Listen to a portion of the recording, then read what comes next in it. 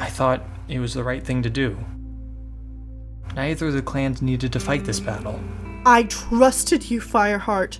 You, out of all my warriors. I did it for the good of the clan, Bluestar.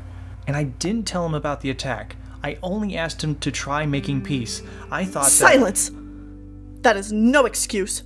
And why should I care if the whole of ThunderClan had been slaughtered? Why should I care what happened to traitors? Only I kept my kits. Mistyfoot and Stonefur our noble cats. Far nobler than any of this ragtag bunch in ThunderClan. My children would have never betrayed me. Bluestar. I gave them up to become deputy, and now StarClan are punishing me. Oh, StarClan are clever, Fireheart. They knew the cruelest way to break me. They made me leader and then let my cats betray me. What is it worth now to be leader of ThunderClan? Nothing. It's all empty.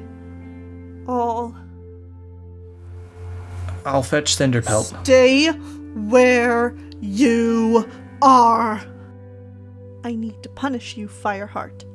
Tell me a good punishment for a traitor. I don't know, Bluestar. But I do. I know the best punishment of all. I'll do nothing. I'll let you be deputy still and leader after me.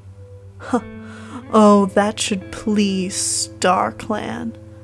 A traitor leading a clan of traitors. May they give you joy of it, Fireheart.